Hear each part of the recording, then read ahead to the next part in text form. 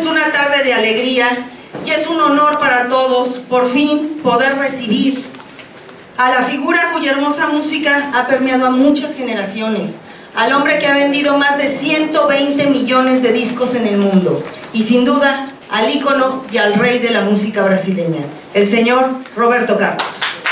Bien, por favor, en este estrado al licenciado Roberto López, presidente de Sony Music México, al señor Fernando Cabral, vicepresidente regional de marketing de Sony Music, y al señor Todi Sirena, manager de Roberto Carlos. Bienvenidos, señores. Gracias, Claudia. Muy bienvenidos a todos los medios. Muchísimas gracias por su presencia aquí en este extraordinario acontecimiento en la historia de la música de nuestro país. Es un momento realmente extraordinario porque estamos hoy aquí en presencia de uno de los más grandes íconos, de las grandes superestrellas de la música de todo el mundo. Estamos aquí en presencia de Roberto Carlos, el rey de la música latina. Muchísimas gracias Roberto por, por estar aquí con, con nosotros, por estar aquí en México y por darnos nuevamente tu tiempo, tu cariño y la oportunidad de presentar tu último trabajo, el EP, Ese tipo soy yo, que dicho sea de paso, ya es número uno en iTunes en toda Latinoamérica, incluido México, y por lo cual te damos un gran agradecimiento. También en México viene acompañado de un disco en vivo, el disco grabado en Miami, Roberto Carlos en Miami, grabado este, en vivo en 2007, y por eso nuestro sincero agradecimiento. Eh, queremos decirles que Roberto Carlos ha recibido una cantidad de reconocimientos y premios en todo el mundo que son incontables. No, no, no, podemos contar, no sabemos ya cuántos son. Pero quisiéramos en este momento, Roberto, hacerte entrega aquí en México, a nombre de Sony Music y de todos tus fans que expresan también de esta manera todo el cariño que te tienen y que te devuelven. Queremos hacerte entrega de un importante reconocimiento que refleja el gran éxito de toda tu carrera en México, hasta el día de hoy y por siempre y también el cariño de todos tus fans. Quisiéramos hacerte entrega, por favor, si me puedes acompañar, de este reconocimiento por más de 12 millones de discos vendidos en México. Más de 12 millones de discos, una cifra extraordinaria. Esto es para ti. Muchas felicidades. Muchas felicidades. Gracias.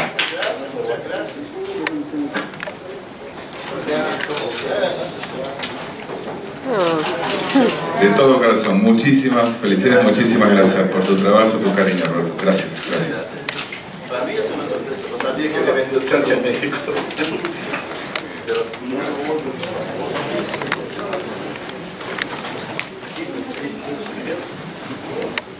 Bueno, pues muchas gracias, maestro. Si gusta, podemos comenzar con alguna cuestión que nos quiera compartir antes de comenzar con las preguntas.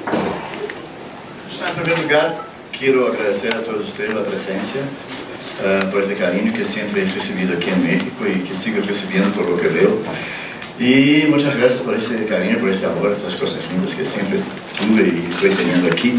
Y gracias a, a por, por esta sorpresa maravillosa que son 12 millones de discos que yo no, sinceramente no sabía que eran tantos, tantos, pero muchas gracias.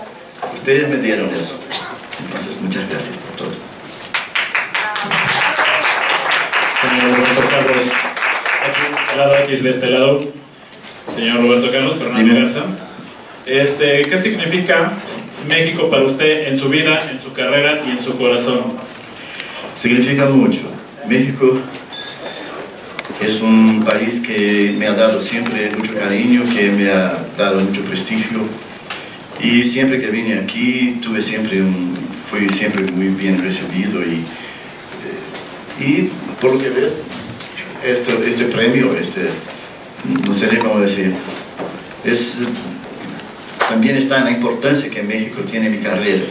En mi corazón, el cariño y el amor que, que tenemos. Tenemos un caso de amor, los mexicanos, todos los mexicanos, México y yo. Gracias. De este lado, este, señor Roberto Carlos, eh, Eduardo Banda, de este lado. Ok. Eh, bueno, antes que nada, muchas felicidades por el reconocimiento y me gustaría saber dos cosas. Primero, eh, si bien es cierto que es un personaje bien importante en el mundo de la música a nivel internacional, quisiera saber cuál es el, el mensaje que Roberto Carlos tiene ahora para los jóvenes, en primer lugar. Y en segundo lugar, eh, saber si este material va a estarlo presentando usted en las próximas dos fechas que tiene en el Auditorio Nacional. ¿Cómo así el material? No entendí. Ah, sí, sí, sí, sí. Bueno, lo que puedo decir a los jóvenes es que estudien, que se porten bien ¿eh? y que realmente hagan las cosas eh, de forma correcta y, se esfuercen siempre mucho para ganar siempre más en la vida, a progresar y cosas así. Que trabajen siempre mucho, que tengan mucha disposición para el trabajo. Y eh, con respecto a este material, voy a estar cantando en este show eh, las canciones que espero, que pienso, que son las canciones que el público desea escuchar, como detalles, como emociones, eh, como amada amante, el gato que está en la oscuridad. Y ahora este tipo soy yo, que soy yo. No, no soy yo, es tipo que intento ser. Buenas tardes, este... Bueno, uh, yo hice esta canción porque uh, existe un, una, una, casa de espectáculo muy importante en mi vida que se llama Canecão, que ya no existe más en Brasil, en Río, y que era um, um, todo artista, a todo artista le gustaría actuar en esta, en esta casa, en ese espacio.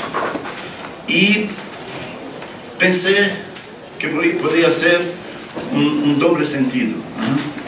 Quando estou aqui, quando, quando estou aqui, eu, eu, eu, eu, é eu vejo esse momento, eu sinto esse momento. Como é que é? Sei lá, não sei. Eu vivo esse momento. e ah, também que se podia pensar que seria em frente a uma mulher. Al público e uma mulher. Emoción, Emociones foi uma canção hecha con esta inspiración. Y quería mucho hacer un show llamado Emociones. Y así sucedió. Yo hice esta canción y enseguida hice una temporada en Canicão que se llamó Emociones. Y esta marca, este título, siempre ha representado mucho en mi vida, siempre mucho, incluso siempre que alguien, los covers, uh, los que hacen invitaciones mías, siempre hacen chiste con esto, qué emoción, qué tanta emoción, esas cosas así. y entonces hoy tenemos una, una, empresa llamada Emociones que cuidamos de, de, de construcciones y, esto to, todo me ha dado siempre mucha alegría esta, esta, este título. Y ahora estamos también en el mundo del inmobiliario con una empresa con Dori Sirena, su hermano Jaime y mi amigo Ubirajara. Y todo va muy, muy bien así. Hola, buenas tardes, bienvenida a México. Porque en, en, verdad la canción habla de un tipo que toda mujer gustaría de tener. Un tipo que todo hombre gustaría de ser. Un tipo que yo intento ser. Y por último me gustaría preguntarle si en algún momento ha pensado escribir sus memorias, una biografía todo lo que sucedió con este libro que sacaron, que obviamente usted no permitió. Eh, ¿Usted quiere escribir este libro? ¿Lo ha pensado, maestro? Ya lo estoy grabando. No estoy escribiendo, pero lo estoy grabando. Estoy grabando toda mi historia. Desde el punto que me acuerdo. Yo pienso que desde los cuatro años y allá, más atrás de lo que me cuentan. ¿eh? Y creo que brevemente vamos a avanzar ese disco, ese disco, este libro, esta biografía. Hola señor, bienvenido, ya tenía mucho tiempo que nos había abandonado. Aquí no, nunca nos abandonó. No nos abandonó físicamente. Bueno, yo quiero saber primero cómo ve Roberto Carlos el mundo en general y en segundo lugar si nos puede indicar si usted le cedería su corona a algún familiar, algún hijo y qué, cómo le hace para estar de salud, se ve usted súper bien. ¿Prefiero primero? ¿Cómo ve el mundo, señor? Yo veo el mundo con realidad, las cosas, cosas que no nos gustan, cosas que nos gustan. Muchas cosas están progresando, uh, la ciencia, uh, y lógicamente que eso nos da alegría y una esperanza muy grande de días mejores. Lógicamente que en todo hay siempre el lado que no es lo que queríamos que fuera así. Pero importante es que estamos en la parte buena, que hacemos la parte buena eh, como seres humanos. El mundo necesita de las personas buenas para, para progresar, para, para hacerlo mejor. Yo creo en el ser humano, creo. Yo no soy del tipo que dice que el ser humano es terrible, que eso, que no, existe una pequeña parte de seres humanos, felizmente una pequeña parte que no sirve, pero felizmente la mayor parte es una parte buena. La segunda pregunta era, señor, si usted ha pensado en algún familiar dejarle la corona que usted ha sembrado durante tantos años. A algún hijo, sí, o sea, cederle la estafeta del trono de Roberto Carlos a algún hijo, algún familiar. En primer lugar, yo no me veo así en el trono y ni con una corona. me dicen estas cosas y yo veo, yo acepto con mucho cariño y mucho cuidado también, porque uno no puede asumir esas cosas porque es muy peligroso asumir cosas así. pero entonces no, no, veo por qué preocuparme quién va a tener la corona y el trono, porque no me veo así. Me veo siempre como un ser humano normal que canta, compone, que ama. Y por último, ¿cómo le hace para estar tan saludable, señor? Se ve usted muy bien. Pásenos la receta. Yo, bueno, yo me cuido, no puedo negar, me cuido, hago ejercicios, hago uh, medicina ortomolecular, que es una cosa que yo veo muy bien, me, ha, me ha, dado un efecto que me gusta. Y uh, no tengo una vida muy reglada, no, no tengo hora para comer ni para dormir, duermo, duermo, duermo a, veces, a veces poco, a veces mucho, y como moderadamente. Me quedé muchos años sin comer carne roja, pero ahora, hace un año más o menos, empecé nuevamente a comer carne roja. Y realmente vi que es muy bueno. Roberto, acá. Yo, pues como, como tal, y has hecho una empresa inmobiliaria, le has dado trabajo a tanta gente, también se han ido por la parte turística estas, estos cruceros maravillosos que ya llevan más de 10 años, si no me equivoco, 10 años haciéndose el proyecto Emociones en Altamar, después Jerusalén, ahora Las Vegas. ¿Qué más hay de todo esto? ¿A quién se le ocurrió? Porque es darle trabajo a más gente, es tener más cercana a la gente de otros países también a, a tu lado, dando la oportunidad de viajar, de estar cerca de ti y de ver tu show. Bueno, uh, todas esas cosas, por ejemplo, el crucero fue una idea de Doris Sireno, que tiene muchas ideas siempre. A veces algunas que no me gustan, pero la mayoría me gustan. y, uh, fue un, proyecto que yo pensaba que iba a ser por cinco años, ya estamos haciendo por diez años. Esto me da una alegría muy grande. Aquello para mí es un momento de ilusión, una cosa que cuando estamos ahí en el, navío, eh, nos olvidamos de, la realidad de la vida, de los problemas, todo. Cuando salgo del navío me da ganas de llorar, cuando lo miro de afuera y digo, viví cuatro o cinco días de total alegría, de amor, de, de ilusión. ¿eh? Ahora vuelvo a la realidad. ¿eh? ¿Qué más me preguntaste? ¿Ese qué? ¿Fue eso? Me invitaron el micro, pero era... Gracias. Gracias. Eh, después de ahí, del navío, se fueron a Jerusalén. A ahora, Jerusalén también. Ahora viene de Las Vegas. Sí. En el MGM de Las Vegas. Sí, todo idea de Dodi. Ay, Dodi. A ver, entonces, tú cuéntanos.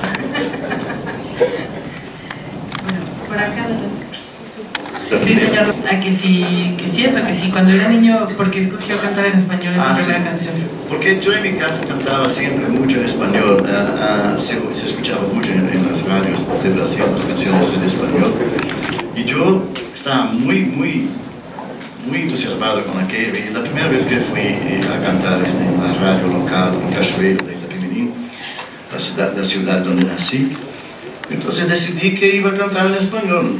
Y canté la canción Amor y Más Amor, de- que era cantada por Fernando Albuer- Albuerne.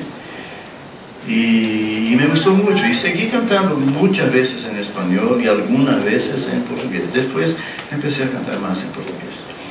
Segunda pregunta. ¿Y qué fue lo que le hizo regresar a nuestro idioma para este disco? ¿Y qué es lo que siente cantando ahora en español? Bueno, en, en verdad no, no sé, no sé explicar muy bien por qué me quedé tanto tiempo sin grabar en español. Y, volví porque siempre tuve ganas de volver. Pero una cosa y otra, viví momentos difíciles en la década de 2000. Y todo eso creo que me sacó un poco del, del rumbo. Pero en un momento dije, no, no, no, tengo que volver. Tengo que volver a cantar en español. Estar ahí en esos países y cantar ahí me ha dado siempre mucha, muchas alegrías. y tengo que volver. Y volví. Señor Roberto Carlos, buenas tardes. Gabriel Hernández, Buenas tardes. Azteca.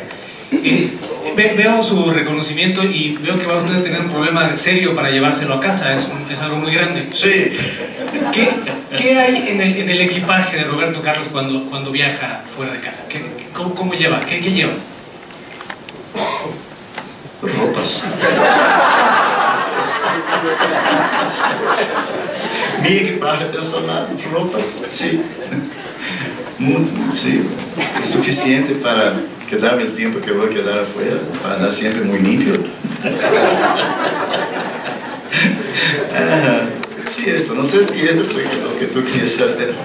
Lo, lo que hay, no solamente material, sino también como del espíritu. Ah, bueno, bueno. Mi equipaje está todo. está- Yo traigo siempre el amor. Eh, Roberto, aquí de este lado. Bienvenido, un gusto. Gracias. Acabas de mencionar algo que, que nos identifica contigo, que es precisamente tu equipaje del amor. Eres, eres sencillez, eres amor, eres emociones, eres una persona que proyecta lo que el ser humano busca a través de otras personas, que es el amor. Gracias. Platícame, tú transformas a las personas, así como transformaste un producto de perfume con el nombre llamado emociones. Al momento de interpretar, al momento de escribir, ¿dónde, dónde está Roberto Carlos en ese momento especial? ¿Dónde se encuentra Roberto? Cuando escribo, Cuando escribes, estoy dentro de aquello que estoy escribiendo. Estoy en las canciones que, que hago, o como espectador o como personaje. Por ejemplo, si, hago, si hablo de una historia que no he vivido, soy un espectador hablando de lo que estoy mirando o de lo que, o de lo que he visto.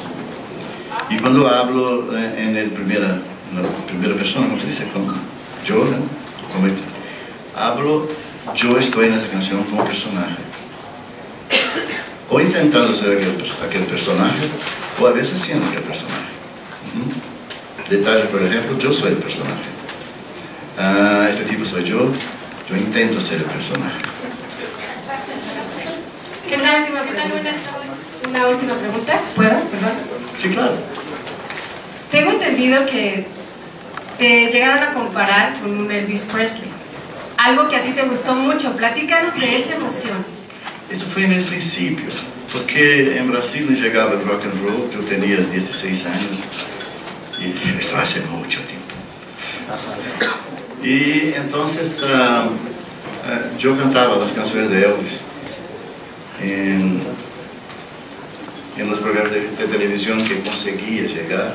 Ujú. Y entonces ah, en el, un programa de Carlos Imperial que me ayudó mucho en mi carrera, él me dio el título de, Ro- del Elvis Presley brasileño. pero solo porque yo cantaba las canciones de Elvis. No me parecía yo. ¿Qué tal, Roberto? Buenas Es tardes. mucha pretensión parecerse a Elvis. Pero yo me sentía feliz de, de- de- de decir así porque yo cantaba las canciones de él. Don't be cruel, to be fruity. Roberto, ¿qué tal? Buenas tardes. Soy. Fernando Antiveros. Es Con este álbum de Ese tipo soy yo. Y bueno, ¿en qué se diferencia de los demás álbumes que por supuesto has lanzado y has eh, posicionado en el éxito? Bueno, propongo decir lo que dice la canción. Este álbum, eh, espero que, que les, guste, les guste a todos los mexicanos, a todo el público de habla hispana. Y, ¿qué fue la segunda? ¿Qué, ¿En qué se diferencia de los demás álbumes que has No sé si hay una diferencia, hay un- una, evolución gradativa, natural. Yo creo que esta canción tiene un poquito más de rock and roll de las que, de, de balada, por los, los sonidos que usamos ahí, la guitarra un poco distor- distorsionadas. Sí, no hay una diferencia grande. Pequeña diferencia siempre, yo trato de poner las canciones que hago a través de los años.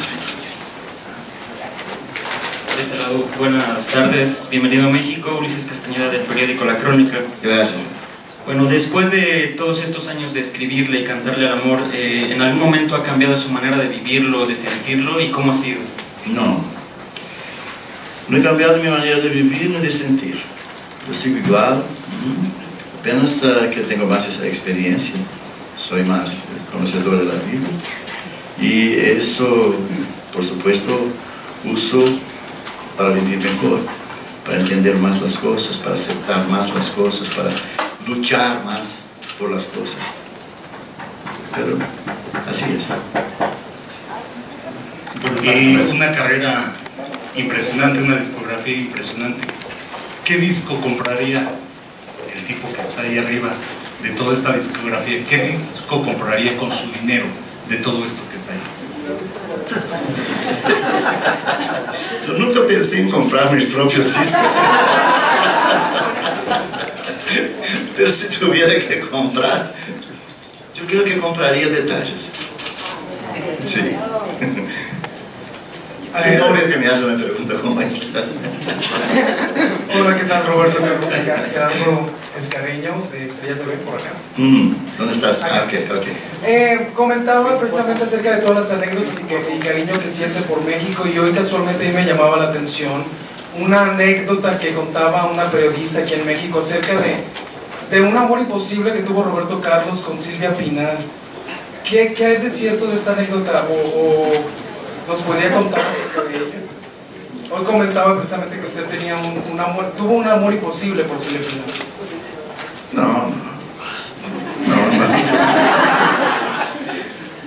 Tuve un, un amor imposible con, con Silvia.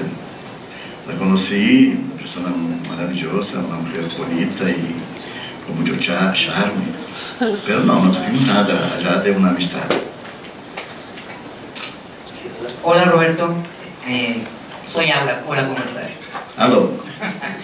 Eh, hay una pregunta que yo te he visto desde hace muchos años, te conozco desde hace muchos años, y he ido a tus conciertos también desde hace muchos años. Y una cosa que me llamó la atención, la última vez que estuve en un concierto tuyo, fue la cantidad de personas jóvenes, muy jóvenes, de 18, 20 años, que estaban todos eh, encantados como quien ha vivido, digamos, eh, la música de detalles, Amada Amante, esas personas ni siquiera habían nacido eh, y estaban aplaudiendo y era como un, un- no sé, una música a través del tiempo. Me llamó mucho la atención que estuvieran eh, presentes estas personas jóvenes, al igual que personas de otras edades como nosotros, pero ¿qué crees tú que, a diferencia de otros compositores, hace que tu música justamente sea tan maravillosa para tantas generaciones? Yo no sé. Yo, hago canciones de amor, canto el amor. Yo creo que el amor es eterno y que está siempre presente, independiente del tiempo.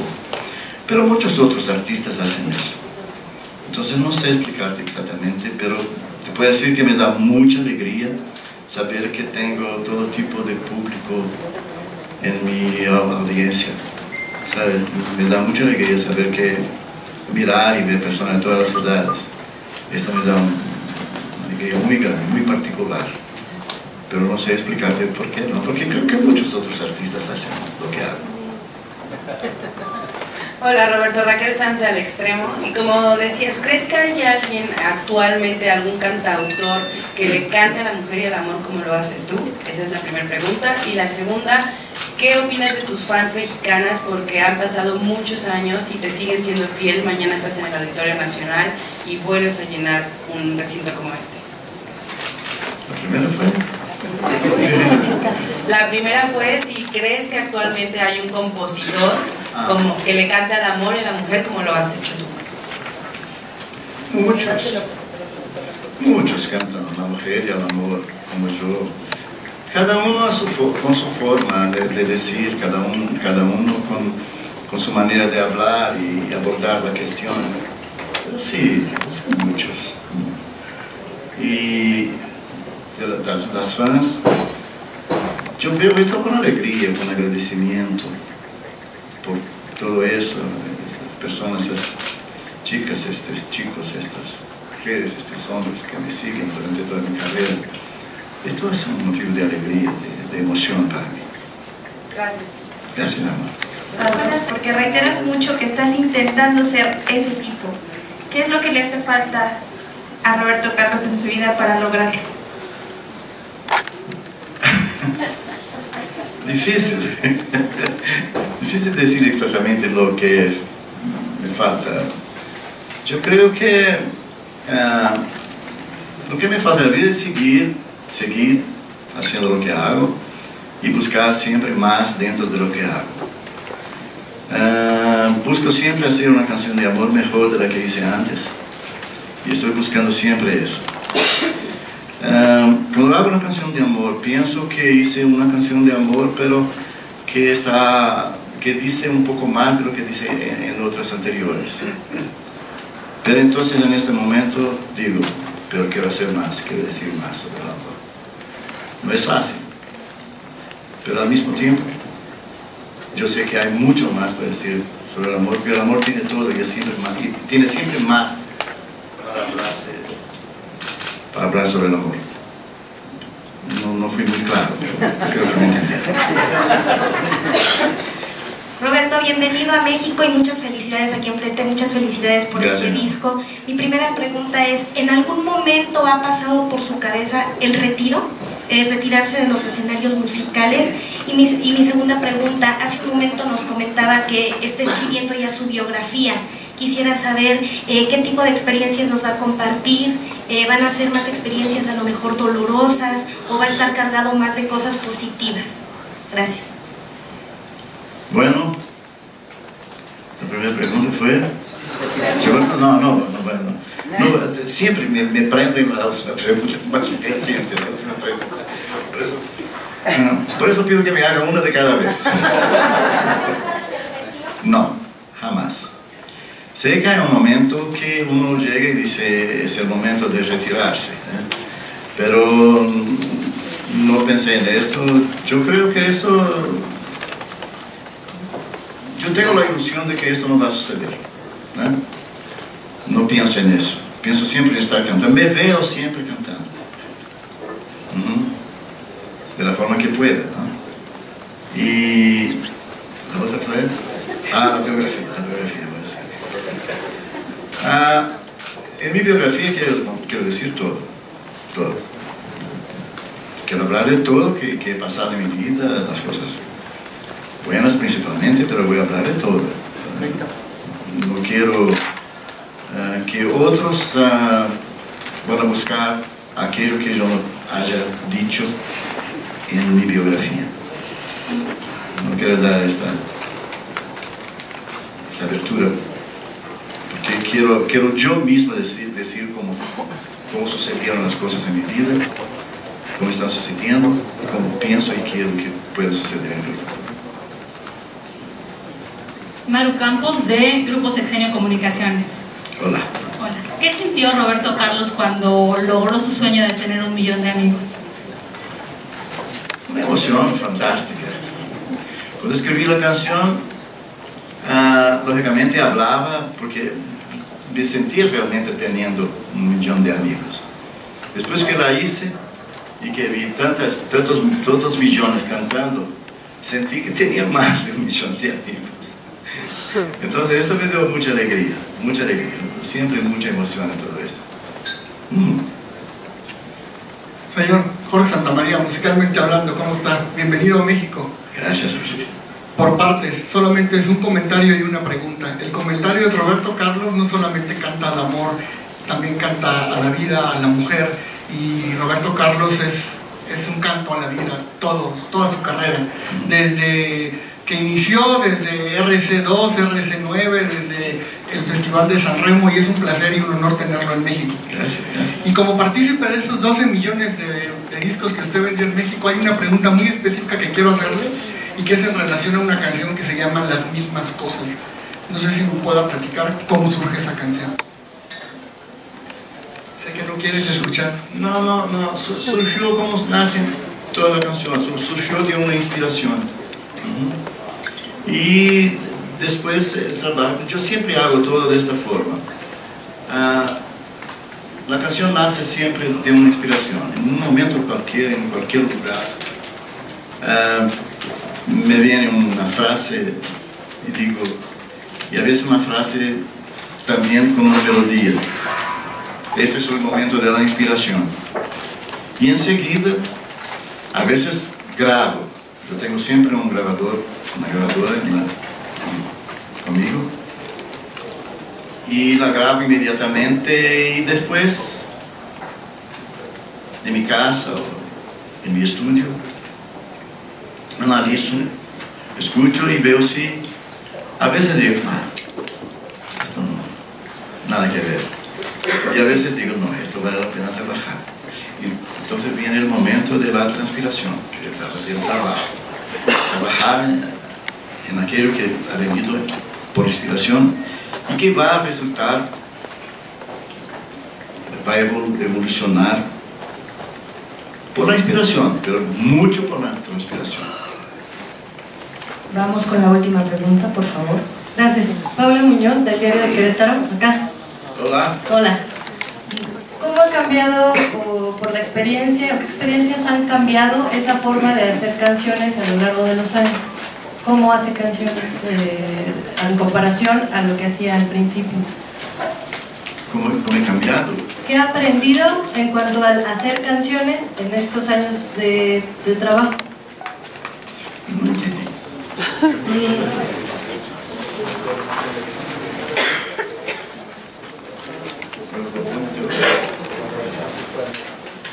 No, no, no, cambié.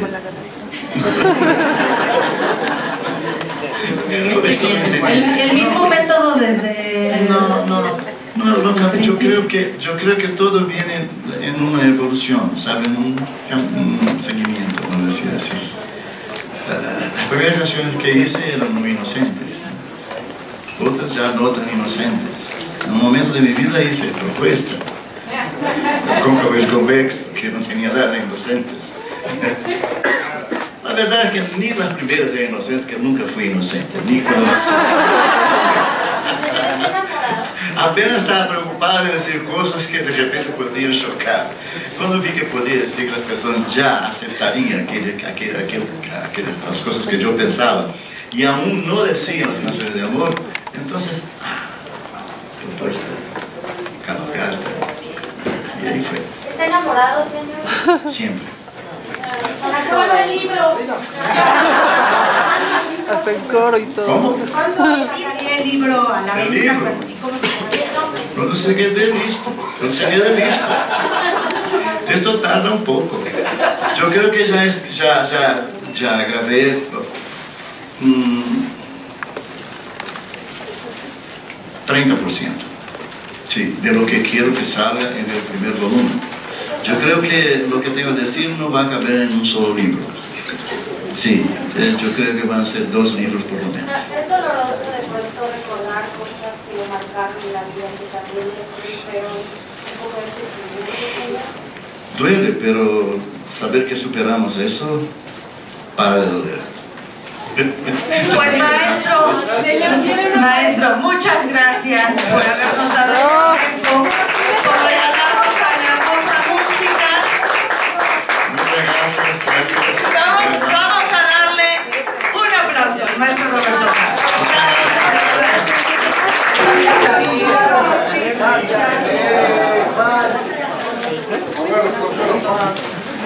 Pero por fans. Gracias. Adiós. Ay, besito, perdón. Sentado, sentado. Sentado. Abajo. Hello, la cámara. Burros.